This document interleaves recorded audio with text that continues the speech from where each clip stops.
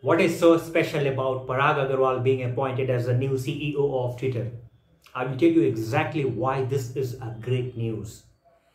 He is only 37 years old. And I think the second leg of millennials, the people who are falling in the age group of 29 to 42 or even 44 or 45, this age group of people are the best suited persons to lead a company to new phase of growth. This age group of people can lead the world to a new era of renaissance in every sphere. Just like we used to hear about renaissance in medieval history, where we saw great advancements in art, culture, science and whatnot.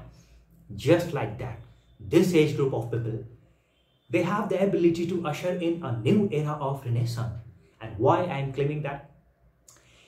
This is the last standing link between the old and the new this age group of people, they are the last link on earth who have seen the pre-dot-com era and the post-dot-com era where we have seen insane high-tech advancements.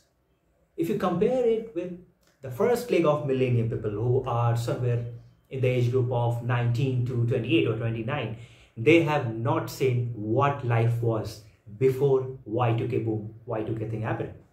They have no idea what kind of challenges and problems we used to face in our day-to-day life. And if you talk about the senior group of people uh, who are in their 50s and 60s, they have seen the world, they are experienced, but they are not that agile anymore.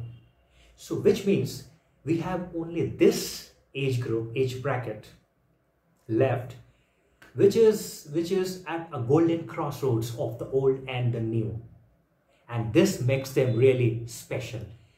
They have the experience. You cannot say Parag Agrawal is inexperienced at 37, but they are also young. They are also millennial. They are also hyperactive and agile and optimistic, and they have the experience.